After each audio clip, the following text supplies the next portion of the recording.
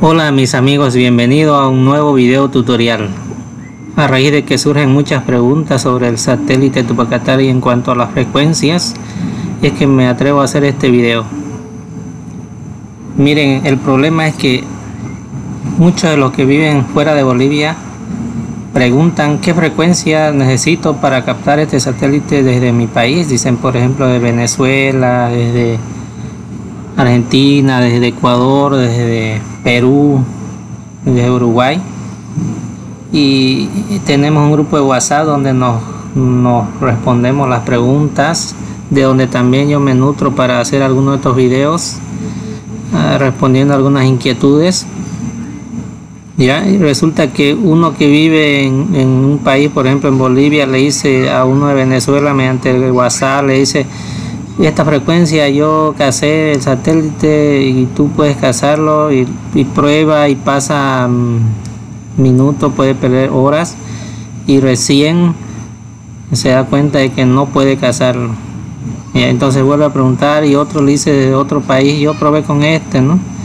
Y también no le da, o puede que le dé, pero puede perder mucho tiempo intentándolo. ¿Cómo estar seguro de las frecuencias? Miren lo siguiente. El satélite Tupacatari tiene coberturas con una cobertura o unas, unas frecuencias que se llaman KU-FS, que son del sur, frecuencias del sur, y que cubrirían todo este sector de, de Sudamérica. ¿Ya? Entonces ahí está Venezuela, está Ecuador, ¿ya? Miren.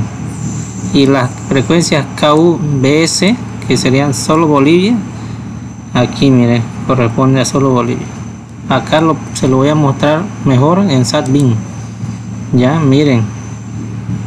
Voy a cerrar esto. Aquí está la cobertura miren. De ese de ese KU FSS ¿no? que vimos hace rato esa cobertura de frecuencias del sur. Ya que corresponde a esta regional.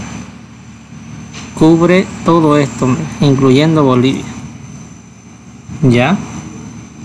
Pero hay otras como esta frecuencia que solo cubre a Bolivia que igual es KU miren ¿Ya? yo en Bolivia pudiendo estar puedo estar cazando con las frecuencias de KU de esta, de esta cobertura y obviamente no le va a dar la frecuencia que yo le pase a uno de Perú no le va a captar ni a Colombia ni a Venezuela ni a los que están cercanos ni a Chile incluso.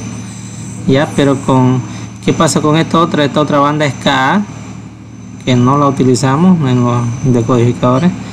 La banda C eh, la banda C con platos grandes ¿no? la banda C cubre en todos lados mira. Ese no hay inconveniente no hay. Lo mismo que sea en, un país va para el otro mira. Ahí no hay problema. Y el problema sería en este ya y para aquí para Venezuela necesitan platos pequeños de 60 centímetros hacia adelante. Ah, también me preguntan para Panamá hay también, miren, en Panamá hay una sección de Panamá que necesitan platos de 80 y si pasa hacia este lado necesitan platos de 120 centímetros y si vamos a Costa Rica necesita platos de 240 y esto es en banda KU, ojo, ¿no? Así que más le convendría cazarlo en banda C. Mire, en banda C igual 250 de tamaño y en Panamá 210 ya entonces seguimos con la regional. Nos vamos a Venezuela.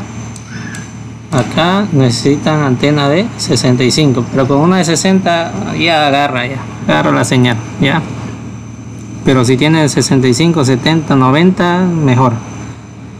Ya entonces esta cobertura como sé qué frecuencia es ya simple. Nos vamos ah, también quiero mostrarles que hay un portal muy bueno que le voy a mostrar aquí. Miren que está en, en el sistema en la red. Aquí uno escoge la frecuencia que en este caso para todo Sudamérica es la FSS KUFSS ya y miren ahí uno puede ver y navegar aquí y, le marca todo no hasta donde cubre. Y ahí vemos los países miren parte de Chile la mitad de Chile cubre ya Paraguay Uruguay y Argentina también un pedazo. Ya. Entonces así uno puede ir viendo miren hasta donde cubriría. Ya. Muy bien. Entonces nos pasamos a lo de los transponders verdad a la frecuencia. Nos vamos aquí al portal EDS el satélite Tupacatari aquí está mire 87.2 nos vamos a las frecuencias banda KU y vamos a ver las que digan América del Sur KU esas corresponden a las que uno puede agarrar en todas las partes de Sudamérica ya entonces aquí vamos a ver el TP fuerte para cazarlo hacia la rápida.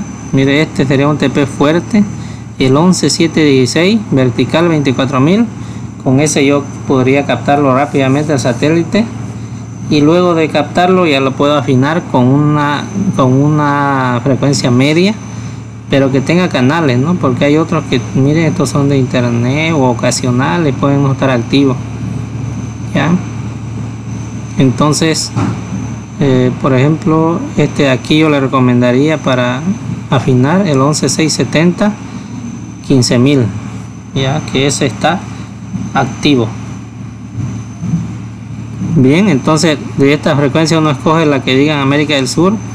Y si está fuera de Bolivia le recomiendo que no agarren las frecuencias que acá digan Bolivia. Por ejemplo este dice Bolivia KU estos canales solo van a salir en Bolivia y esta frecuencia igual solo cubre Bolivia.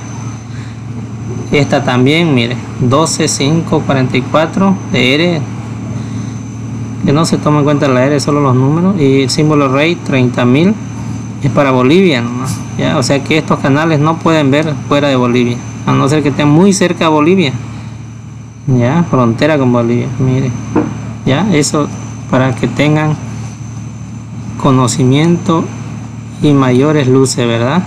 Ya, entonces les invito a ver los otros videos de apuntamiento del satélite Tupacatari que yo hice desde Bolivia con la frecuencia que es esta aquí, con esta frecuencia que es para todo Sudamérica. Recuerden que esta cobertura también cubre a Bolivia, ¿ya? Así que esta, esta frecuencia, por ejemplo, es tanto para Bolivia como para los países que están en Sudamérica.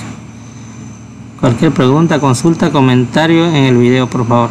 Gracias.